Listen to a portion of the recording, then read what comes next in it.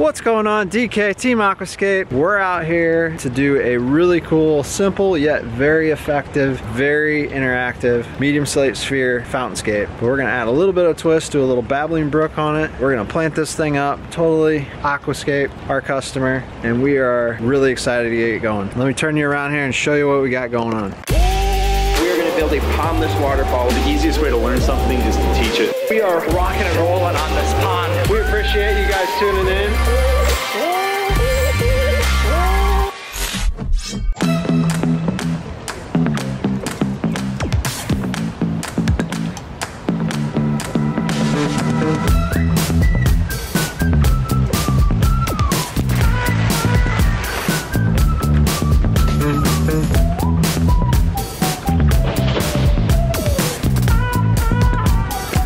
This is our canvas area. It's right off of her deck. As you can see, she has an amazing backyard. She's got a really cool little gold mining cart back there. I'm gonna get her out here later so that she can kind of explain that backstory because I think it's a really cool piece. But kind of what we're doing. But this is our canvas area we're working with. We're gonna come in here. We're gonna pull out some of these pavers. We're gonna bring this out into the yard a little bit. We got six small aqua blocks. We're gonna do a medium slate sphere. We've got some cool boulders to work with. So we're gonna do a little babbling brook off of it and really just give this thing some wow factor, some good noise, that tranquility that we're always looking for. And it's really exciting because she's a flight attendant. So with her long commutes back and forth, she'll have a really cool feature to come home to and really just tie this awesome backyard into a relaxing, just R&R spot for her every time that she comes back home. So we're gonna get started and we're excited. Stay tuned.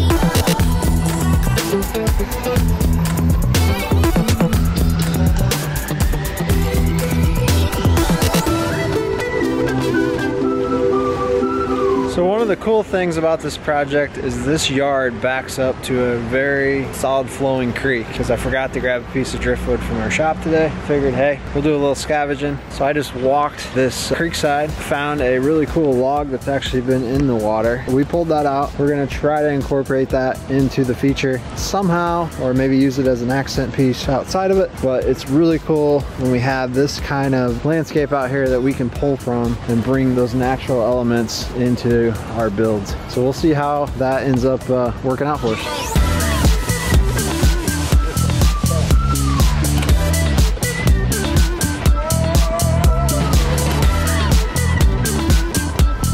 All right guys, we got it on camera, we got proof. Chris Ostrainer actually knows how to use a shovel.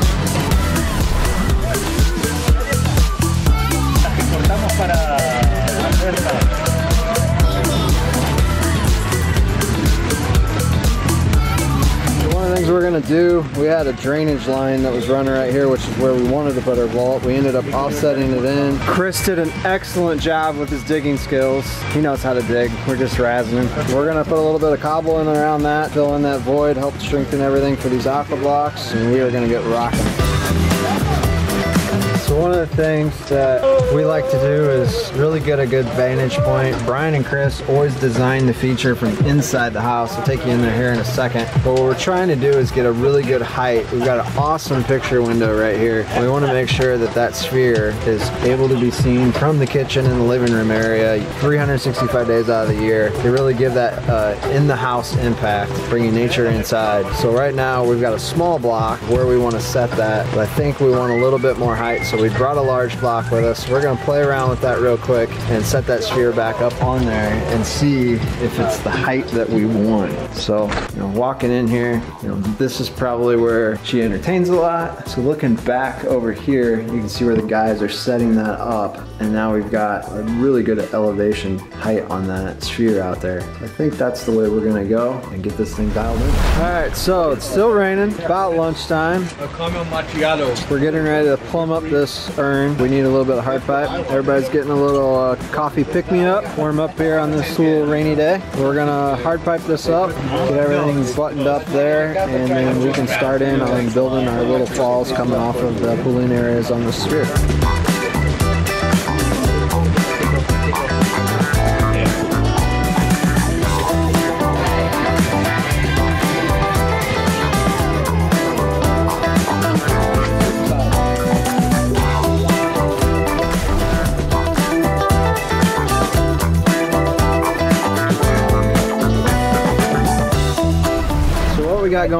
The guys just pulled the liner back. We got a cool log we pulled out of the creek we showed you earlier. We wanted to get that kind of on a 45 degree angle so this thing doesn't look super boxy. It follows kind of that natural look. But what Gabe's working on right now is we left a little bit of pocket in here. So we put fabric in, we're gonna put some dirt in there. Gina picked up some really great plants that we got to work with. So we're gonna plant some of those ground covers and sedums and stuff in there. And then that will be able to wick down into our water line. We're doing a couple little Babbly Brook areas. That'll be able to get some moisture up into those plants, but then it'll grow over that log and really soften that edge. Not just straight log, but it's a great golden pine for us.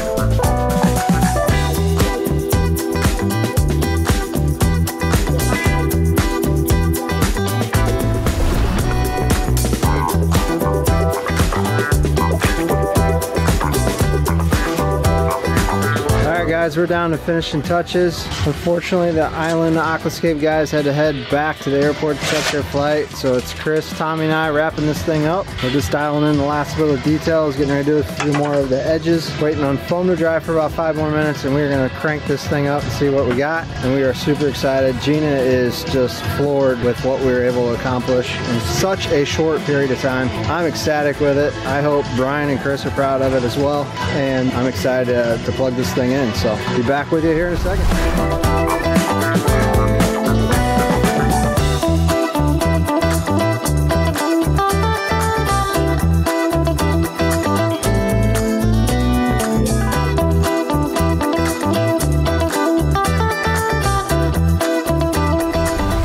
It's been a long day. We probably blew the budget just a little bit. But I think it was totally worth it. Tommy, Chris, what are you guys thinking? Beautiful. She's gonna get many years of enjoyment from the Awesome. fountainscape. So, uh, what do you think, Chris? Pretty amazing, man. It's been a fun day. Yeah, yeah. It's been a fun week, obviously. So, what's kind of some of you guys' thoughts? You've been here all week helping the team out with this CAC collaboration Greg put together. What's a little bit of your takeaway from the experience, or maybe some advice to maybe some of the upcoming CACs that are going to be coming in helping us? I love the tribe. We work with the best guys on earth, and I can say I love my job because of that and this. Yeah. And what we create for people. And the customers' reaction tonight was pretty amazing too. But yeah, Yeah. I definitely love my job. And we and shout out to Island Aquascapes, Jeff Augie, Yeah. uh, all those guys, Gabe, and probably me with the names. I would post all their names. but- Alvaro. Alvaro and Edgar. Edgar. Alvaro, and Edgar, Jared. And Jared. And Jared. uh, The fighter. The fighter, yeah. Poor guy, like almost broke his legs Sunday night in the weight Right. room, and he's been hobbling around on crutches the entire week, and it hasn't slowed him down. Right, Mad right. respect to him and Jeff's crew. yeah, they all did a great job, and uh, we definitely missed them this afternoon. Yeah, I was a little sad they had to hit their uh, flight early and, and missed this thing turning on by about a half hour, but hey, we'll get them some photos of it. Right. We definitely appreciate their help.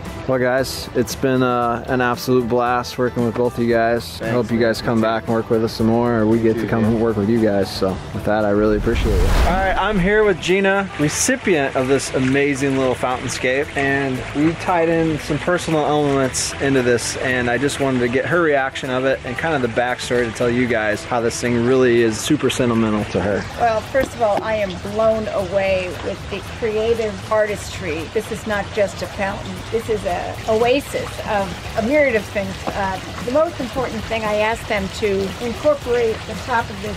It was a bench. I took off the legs and it says, "If tears could build a stairway and memories a lane, I'd walk right up to heaven and bring you home again." My dear friend gave me this bench from my father who passed away about four years ago, and they we've, added it to this, this space here. And now I'm able to enjoy it, and it's lit beautifully. Every detail about this, I mean, it makes me cry because I'm able to enjoy it now so much more with the water and so forth. Already, it hasn't even been in my house for what six hours, and already I've got I've got stories.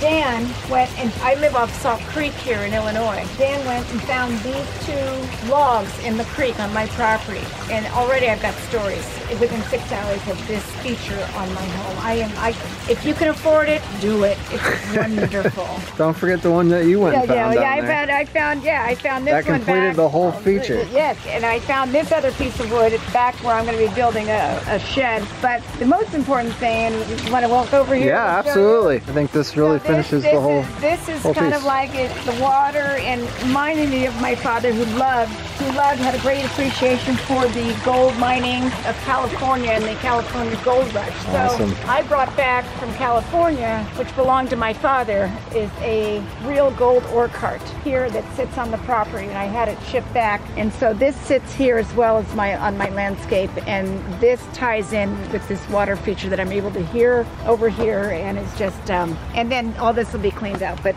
right now, everything is about my dad today, and I I'm so glad Aquascapes is part of that story. Well, it's been a it's been really special for all the CSEs that have been out here with us. Myself, I'm really sad that the rest of the team Aquascape was not out here with us. But I think what we were able to pull off today, even if we blew the budget by a little bit, sorry Brian, I think it was totally worth it. Uh, we'll blame Pond Mom because Pond mom is. it's her neighbor, so we'll blame her for the reason behind that. So sorry, Greg, but I think it was totally worth it. I'm excited for you. I think this is going to bring you tons of joy and tranquility. And with your high stress job that you're in, I think it's going to be really great for you to come back home and be able to really enjoy this 365 days out of the year. Oh, absolutely, And, Mike. uh, and I've already got Zen with my Jack Russell. If you have a Jack Russell and you can get Zen, put this in. Awesome. this- awesome. Well, it's been wonderful, uh, Dan, and you just you blew me, you blew it out of the park. Awesome. Just blew it out of the park. So thank you so much. I really appreciate you. Yeah, no, it's just been a beautiful day. Just a beautiful day. It's been day. been a lot of fun for me. And let us know what you guys think. Hit the like button, comment down below. We'll see you guys on the next one, Tuesday, Thursday, and Sundays. Make sure you tell all your friends. We need more friends. We need more people like Gina living the aquascape lifestyle. So tell everybody. We'll see you on the next one.